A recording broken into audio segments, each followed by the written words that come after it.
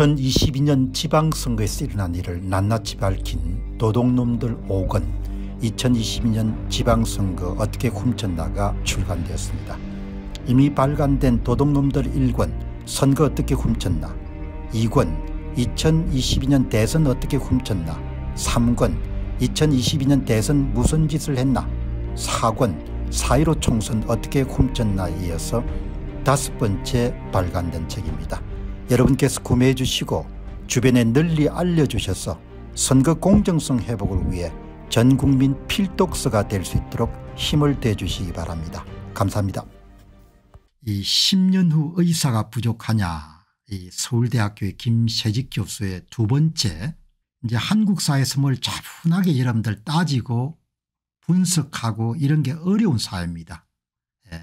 제가 자주 인용하는 천수답식 경영 천수답식 의식이 굉장히 뿌리 깊게 자리 잡고 있기 때문에 예.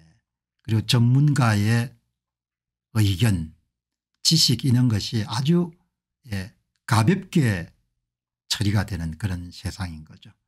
그렇기 때문에 이 김세직 교수의 분석이 아무리 옳다고 하더라도 이미 정책을 선택한 사람을 움직이는 것은 쉽지 않을 겁니다. 그럼에도 불구하고 굉장히 훌륭한 글입니다. 이 김세직 교수. 예. 이 이제 시카고 대학을 나오셨는데 미국에 많은 그런 경제학과가 있지만 특히 시카고 대학의 여러분들 경제학 박사학위를 받기가 어렵습니다. 예. 굉장히 예, 학부 교육도 힘들고 대학원 교육도 아주 힘든 학부 교육도 반죽이죠 사람을 그죠 공부를 빡세게 시키는 겁니다. 이 김세직 서울대 경제학부 교수 이번에 쓴 거는 진짜 10년 후에 의사가 부족하냐 이건 겁니다. 예. 윤 대통령하고 예. 보건복지부 고위직들은 그냥 단순히 의사 수를 비교한 겁니다. OECD 평균 1000명당 의사 수와 한국의 의사 수가 적으니까 10년 후에 부족할 것이다. 예. 고령화가 추진 계속 진행되니까 이렇게 아주 간단 명료하게 생각한 겁니다. 예, 좋은 말로 하면은 순진한 거고 예, 좀 조금 직설적으로 이야기하면 무식한 겁니다. 예. 거기서 뭐를 고려해야 되느냐 의학 기술의 진보를 고려해야 되는 거죠. 의학 기술의 진보. 그리고 또 뭘 고려해야 되느냐 예. 의료 분야에 투입되는 자본 투입을 함께 고려해야 되는 겁니다.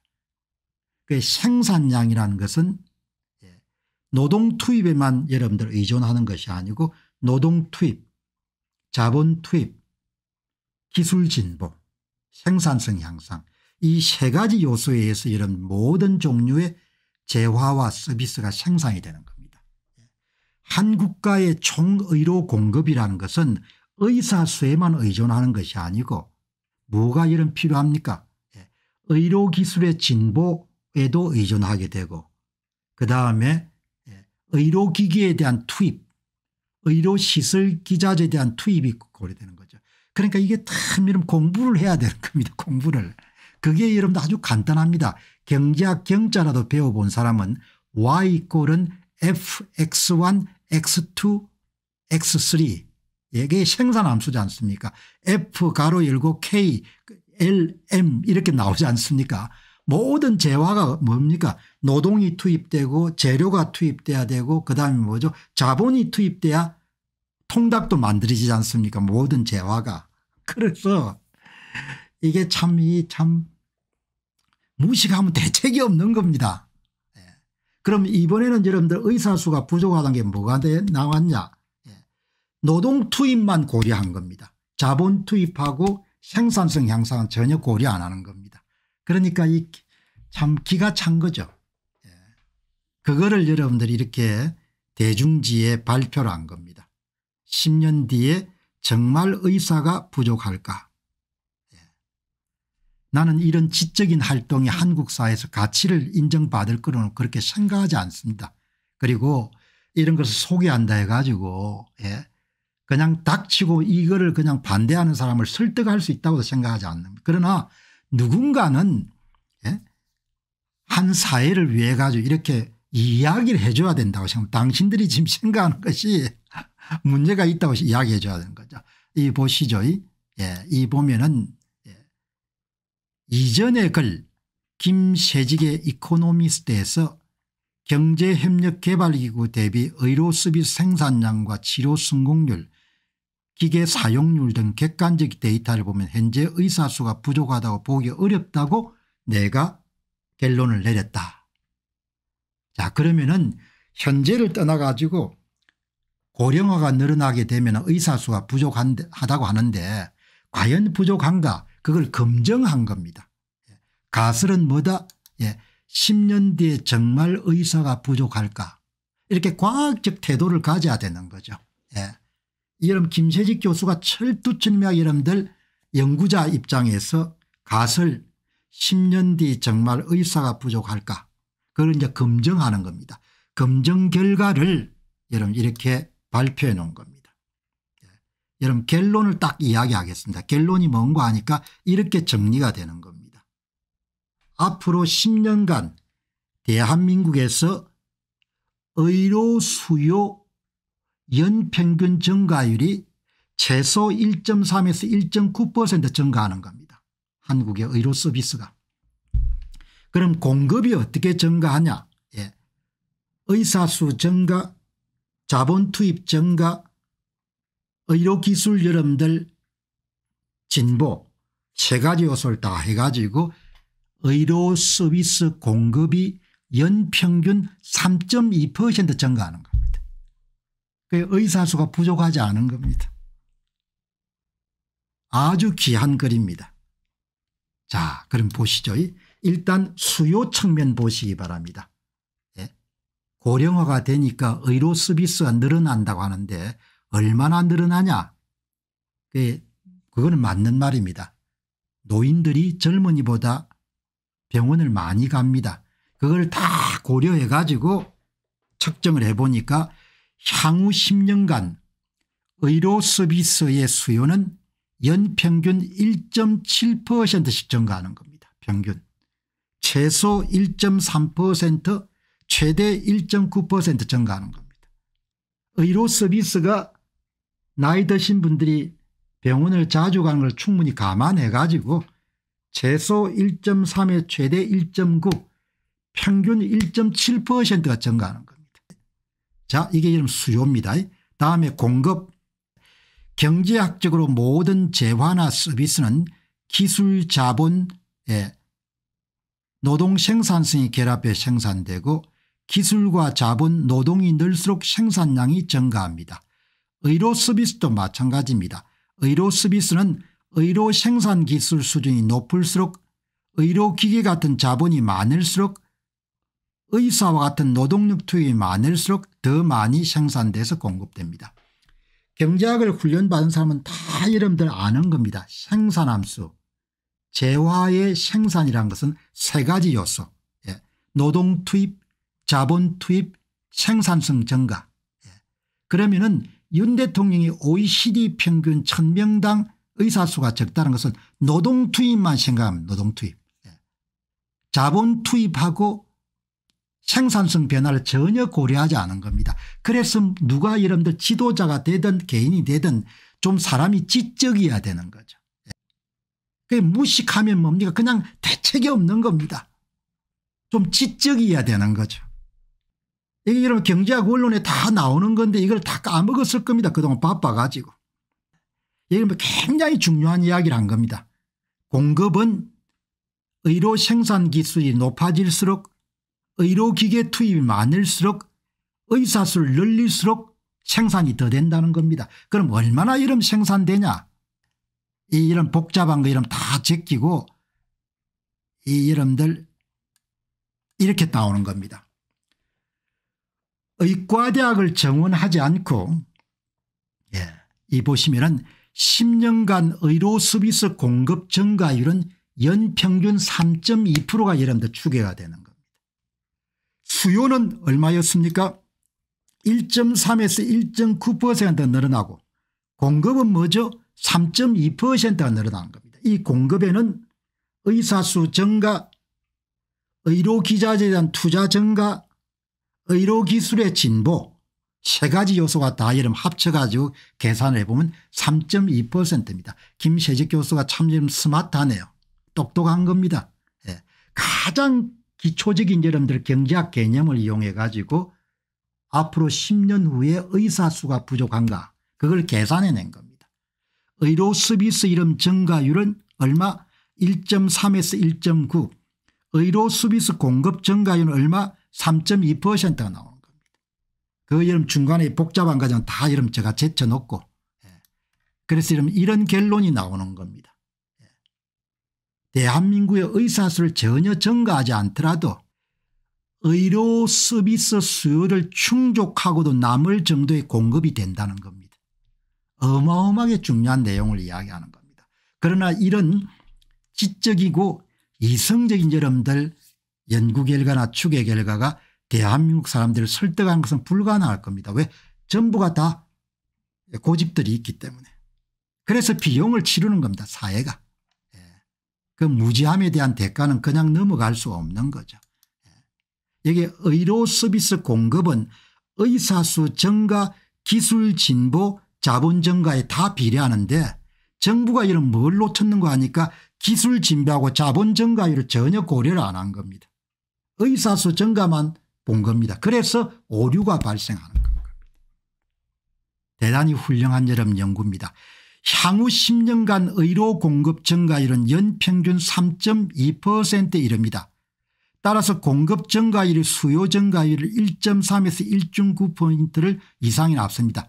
공급 증가율이 1.3%는 앞 남는다는 겁니다. 매년 1.3% 초과 공급이 되는 겁니다.